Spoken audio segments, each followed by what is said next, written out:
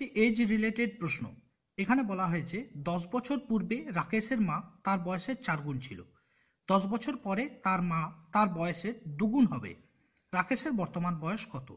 তো এখানে যেটা বলা হয়েছে, দেখুন, রাকেশ এবং তার মায়ের বয়সের অনুপাত বলা হয়েছে। ধরুন, এটা রাকেশ আর এটা তার মা। তাহলে দশ বছর পূর্বে কি ছিল? তার মা তার চার গুণ ছিল। তার রাকেশকে যদি এক গুণ ধরেন, তার মাকে চার গুণ ধরুন। আবার একইভাবে দশ বছর পরে তার মা তার বয়সের দ্বিগুণ হবে। তাহলে দশ বছর পরে রাকেশকে যদি এক গুণ ধরেন, তার মাকে দ্বিগুণ ধরবেন। সেগুলো আছে। সেগুলো সব সমান নয়। প্রথম কাজ হলো এগুলোকে সমান করতে হবে। যেমন দেখুন, এখানে চার এবং এক, এদের বিয়োগফল কত? তিন। আবার এখানে দেখুন, দুই এবং এক, তাদের বিয়োগফল কত? এক। তাহলে এদের বিয়োগফল হলো তিন, এদের বিয়োগফল হলো এক। এই দুটোকে সমান করতে হবে। তাহলে এখানে যেহেতু তিন আছে, এখানে যেহেতু এক আছে, তাহলে একে তিন দিয়ে গুণ করুন আর একে এক দিয়ে গুণ করুন।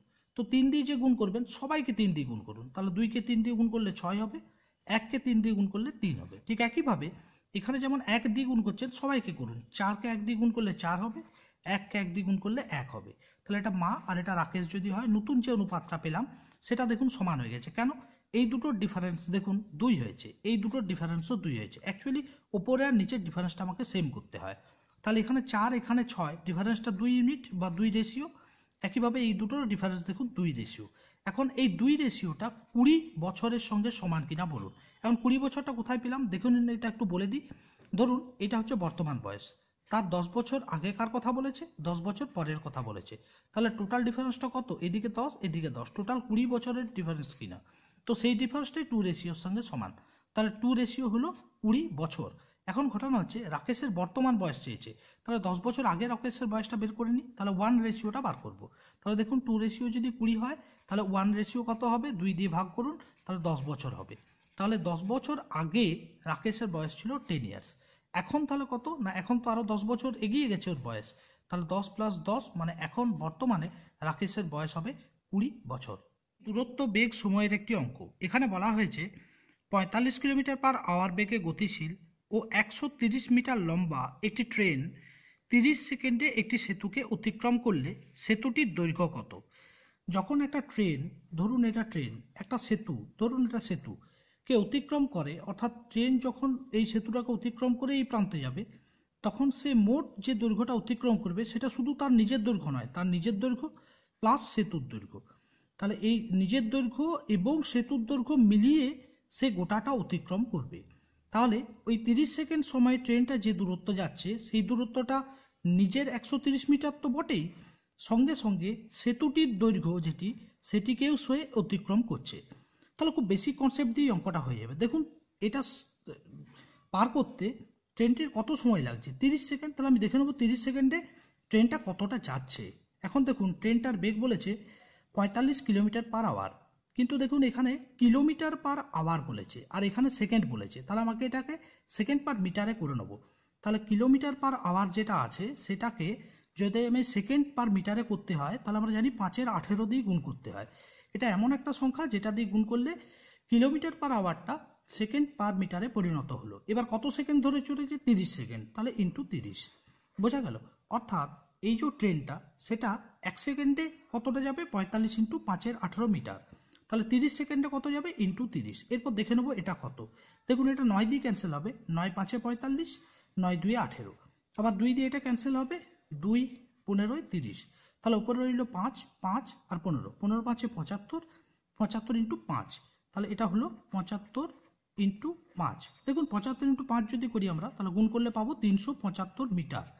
তিনশো পঁচাত্তর মিটার। অর্থাৎ ট্রেনটা তিরিশ সেকেন্ডে মোট তিনশো পঁচাত্তর মিটার গেছে। এই যে দূরত্বটা গেছে, সেই দূরত্বর মধ্যে কোন কোন দূরত্ব ঢুকে আছে? ট্রেনের নিজের দৈর্ঘ্যের দূরত্ব এবং সেতুর দৈর্ঘ্য। তাহলে ট্রেনের নিজের দূরত্ব কত? একশো তিরিশ মিটার। আর সেতুর দৈর্ঘ্য কত? সেটা আমরা জানান, আমাদের জানা নেই। তাহলে সেতুর দৈর্ঘ্য, এই দুটো মিলিয়ে সে তিনশো পঁচাত্তর মিটার গেছে তিরিশ সেকেন্ডে। তাহলে এখানে যদি সেতুর দৈর্ঘ্য বার করতে হয়, এটাকে এই প্রান্তে নিয়ে আসুন। তিনশো পঁচাত্তর থেকে একশো তিরিশ বাদ দিয়ে দিন। তাহলে তিনশো পঁচাত্তর থেকে একশো তিরিশ বাদ দিলে আমরা পাবো দুশো পঁয়তাল্লিশ মিটার। অর্থাৎ ওই যে সেতুটি, তার দৈর্ঘ্য কত? দুশো পঁয়তাল্লিশ মিটার। এখানে বলেছে, একটি স্টিমার স্রোতের অনুকূলে এগারো কিলোমিটার পার আওয়ার বেগে চলে, আবার স্রোতের প্রতিকূলে আট কিলোমিটার পার আওয়ার বেগে চলে। তাহলে স্রোতের বেগ কত? এটি বোট এবং স্ট্রিমের থেকে একটি অঙ্ক। এরকম কনসেপ্টের প্রচুর অঙ্ক আমি করিয়ে দিয়েছি, পারলে সেই ক্লাসগুলি অবশ্যই দেখে নিতে পারেন।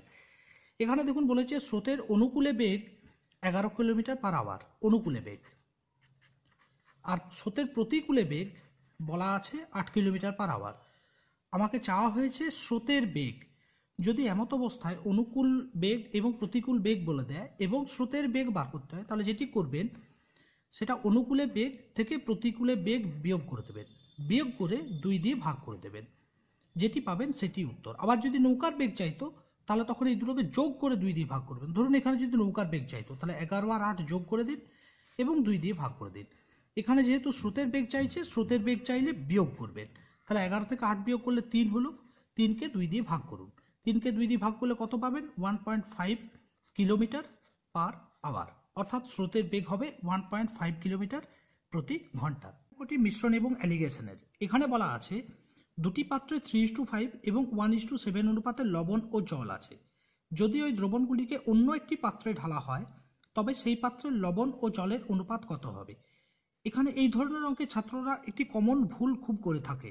সেই ব্যাপারটা আমি বলে দিচ্ছি। দেখুন, এখানে একটি পাত্র আমি এঁকে রেখেছি, আর এখানেও আর একটি পাত্র এঁকে রেখেছি। এখানে লবণ এবং জলের অনুপাত বলেছে থ্রি টু ফাইভ এখানে লবণ এবং জলের অনুপাত হচ্ছে ওয়ান ইস টু সেভেন এরপর, যেহেতু লবণ ও জলের অনুপাত মোট চাইছে, তাহলে ছেলেরা কি করে?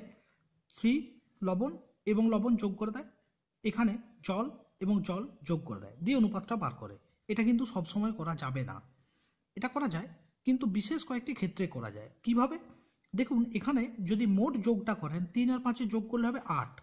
এখানে যোগ করুন, এক আর সাত যোগ করলে আট। যদি এই যোগফলগুলো সেম হয়, তখনই আপনি সেটা করতে পারবেন। কিন্তু যদি এই যোগফলগুলো সেম না হয়, তখন কিন্তু এই পদ্ধতি অ্যাপ্লাই করতে পারবেন না। তখন অন্য কোনো পদ্ধতি অ্যাপ্লাই করতে হবে। আমি পরে আর একটা অঙ্কে সেটা দেখাচ্ছি। তাহলে যেহেতু এখানে এই দুটোর যোগফল আট, এই দুটোর যোগফল আট, তাহলে আমি মোট লবণটা বের করে নেব। আর মোট জল বের করে নেব। দেখুন, এখানে লবণ হচ্ছে তিন, এখানে লবণ হচ্ছে এক। ঠিক একইভাবে এখানে এই পাত্রে জল হচ্ছে পাঁচ, এই পাত্রে জল হচ্ছে সাত। এই দুটো যোগ করে দিন, তিন এবং এক যোগ করলে চার হলো, পাঁচ এবং সাত যোগ করলে বারো হলো। এরপর এটার অনুপাত নির্ণয় করুন। চার দিয়ে কাটা যাবে চার এককে চার চার তিনে বারো। তাহলে অনুপাতটি হলো? ওয়ান ইস টু থ্রি এক্ষেত্রে উত্তরটা ঠিক হলো।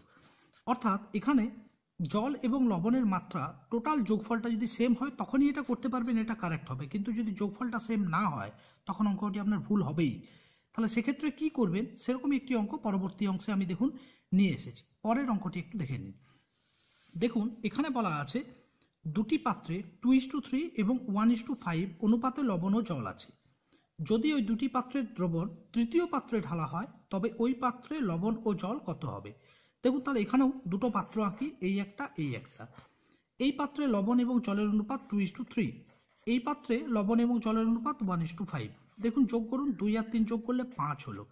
এক আর পাঁচ যোগ করলে ছয় হলো। এই দুটো সমান হলো হলো না। তাহলে এক্ষেত্রে যদি আপনি এই দুটো যোগ করেন এবং এই দুটোকে যোগ করে অনুপাত বার করেন, অঙ্কটি অবশ্যই ভুল হবে। এক্ষেত্রে এইভাবে করতে পারবেন না। তাহলে সেক্ষেত্রে কি করবেন, সেটা একটু দেখে নিন। যেহেতু যোগফলটা সমান নয়, তাহলে এখানে লবণ যেটা আছে তার মাত্রা বার করব, জলের মাত্রা বার করব, ঠিক এইভাবেও এখানেও লবণ এবং জলের মাত্রা বার করব। এখানে যদি লবণের মাত্রা বলে, তাহলে দুইকে পাঁচ দিয়ে ভাগ করে দিন। জলের মাত্রা বলে, তাহলে তিনকে পাঁচ দিয়ে ভাগ করে দিন। একইভাবে এখানে লবণের মাত্রা এককে ছয় দিয়ে ভাগ করে দিন। যোগফলটা যেহেতু ছয়, এখানে একইভাবে এটাকেও ছয় দিয়ে ভাগ করে দিন, জলের মাত্রা পেলেন। এরপর আপনি করতে পারেন মোট জল এবং মোট লবণ। এই দুটো যোগ করলে মোট লবণটি পাবেন, এই দুটো যোগ করলে মোট জলটি পাবেন। তাহলে মোট লবণ কত আছে?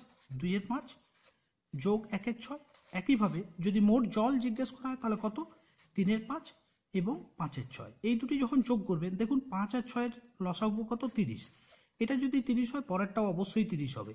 পাঁচের ছয়ের লসাগু তিরিশ। এরপর যখন যোগটা করবেন, দেখুন পাঁচ দিয়ে তিরিশকে ভাগ করলে পাঁচ, ছয়ে তিরিশ। ছয়, দুয়ে বারো। একইভাবে ছয় দিয়ে তিরিশকে ভাগ করলে ছয়, পাঁচে তিরিশ পাঁচ একে পাঁচ। একইভাবে এখানে যখন করবেন পাঁচ ছয় তিরিশ, ছয় তিনে আঠেরো। একইভাবে ছয় পাঁচে তিরিশ, পাঁচ পাঁচে পঁচিশ। এরপর এগুলো যোগ করে দিন।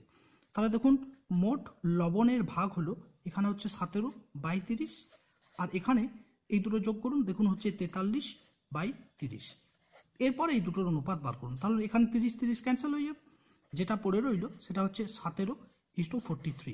তাহলে এই মুহূর্তে অর্থাৎ তৃতীয় পাত্রে লবণ এবং জলের অনুপাত হবে সতেরো ইস্টু তেতাল্লিশ। এই ব্যাপারটা সম্পর্কে অ্যাওয়ার থাকবেন, নইলে কিন্তু অঙ্কটা ভুল হওয়ার সম্ভাবনা খুব বেশি হয়। ধরনের অঙ্ক প্রায়ই পড়ে থাকে, কিন্তু সময় খুব কম, এই অঙ্কগুলো ট্রিক্সগুলো খুব ভালোভাবে জেনে নিতে হবে। যেমন এখানে দেখুন বলা আছে, কোনো দ্রব্যের উপর পরপর thirty percent twenty percent ten percent ছাড় দেওয়া হলে সমতুল্য ছাড় কত হবে? অর্থাৎ একটা দ্রব্যের উপরে প্রথমে থার্টি পার্সেন্ট ছাড় দেওয়া হয়েছে, তারপর টোয়েন্টি পার্সেন্ট তারপর টেন পার্সেন্ট ছাড় দেওয়া হয়েছে। বেসিক আইডিয়া তাই এই অঙ্কটা তো করে দিতেই পারবেন, কিন্তু তাতে অনেক সময় লেগে যাবে। এখন আমি একটা বেসিক ট্রিক্স বুঝিয়ে দিচ্ছি, তাতে এই অঙ্কগুলো খুব সহজে কয়েক সেকেন্ডে আপনি করে ফেলতে পারবেন। যেমন দেখুন এখানে বলা হয়েছে সমতুল্য ছাড় কত। অনেক সময় ছাড় না চেয়ে আপনাকে জিজ্ঞেস করতে পারে দ্রব্যটার কত পার্সেন্ট দাম দিতে হবে। দুটোই আমি দেখিয়ে দিচ্ছি। যদি কত পার্সেন্ট দাম দিতে হয় বলে, তাহলে যেটি করবেন, দেখুন প্রথমে থার্টি পার্সেন্ট ছাড় দিয়েছেন। তাহলে থার্টি পার্সেন্ট ছাড় দিলে লাগছে কত? সেভেন্টি পার্সেন্ট একশো থেকে থার্টি বিয়োগ করে দিন। তারপর দেখুন টোয়েন্টি পার্সেন্ট ছাড় দিয়েছি, তাহলে একশো থেকে টোয়েন্টি বাদ দিলে কত হবে? আশি। একইভাবে টেন পার্সেন্ট ছাড় দেওয়া হয়েছে, তাহলে টেন পার্সেন্ট ছাড় দিলে লাগছে কত? নব্বই। এই তিনটেকে গুণ করে দিন। এখন এই সংখ্যাগুলোকে শুধু গুণ করুন, অর্থাৎ সাত, আট এবং নয়। এই তিনটে সংখ্যা গুণ করুন, সাত আটটে ছাপ্পান্ন ইন্টু নয়। তাহলে ছাপ্পান্ন এবং নয়ে যদি গুণ করেন, আপনি পাবেন নয়, ছয়, চুয়ান্ন, চার, হাতে পাঁচ নয় পাঁচে পঁয়তাল্লিশ আর পাঁচে পঞ্চাশ। এরপর কি করবেন? এক ঘর আগে দশমিক। শেষ দিক থেকে এক ঘর আগে দশমিক লাগিয়ে দেন। তাহলে ফিফটি পয়েন্ট ফোর এই পার্সেন্ট আপনাকে দাম দিতে হবে। দাম দিতে হবে। তাহলে কতটা ছাড় পেলেন? ছাড় যদি বার করতে হয়, তাহলে একশো থেকে এটা বিয়োগ করে দিন। একশো পার্সেন্ট থেকে ফিফটি পয়েন্ট ফোর পার্সেন্ট বিয়োগ করে দিন। দেখুন, বিয়োগটাও আমি দেখিয়ে দিচ্ছি। একশো থেকে যখন ফিফটি পয়েন্ট ফোর পার্সেন্ট বাদ দেবেন, একশো টাকা একশো দশমিক শূন্য শূন্য ফিফটিটাকে ফিফটি পয়েন্ট ফোর জিরো এটা আকারে লিখে নিন। বিয়োগ করে দিন, শূন্য, এখানে হলো ছয়, তাহলে এখানে থাকছে নয়, পাঁচ, আর নয় হলো চার দিতে। তাহলে উনপঞ্চাশ দশমিক ছয় বা উনপঞ্চাশ দশমিক সিক্স পার্সেন্ট ছাড় আপনি পেলেন। আর যদি বলে কত দাম দিতে হবে এটা? যেটা করবেন, তিনটে গুণ করে যেটা পাবেন, সেই দামটা আপনাকে দিতে হবে। আর যদি ছাড়ের কথা জিজ্ঞেস করে, একশো থেকে ওটি বিয়োগ করে দেবেন। খুব সহজেই এই অঙ্কগুলো হয়ে যাবে।